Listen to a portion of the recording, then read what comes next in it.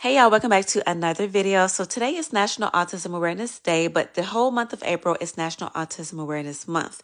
So I am creating a clothespin wreath in honor of National Autism Awareness Month. So I am using these clothespins to fill in this wreath ring. Then I use some blue spray paint. And then, yes, y'all, I am using a Q-tip to fill in um, the clothespins with some different color paints on them.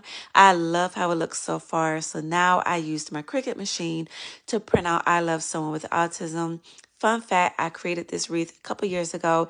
And the cool thing about this is I can take off some of the color ones from the previous wreath and add it to my new one to give it a pop of color. So now I have this leftover ribbon that has puzzle pieces on it. So I'm just going to tie this up and I'm going to use this to hang it on my front door. I hope that you guys enjoyed today's video. Bye.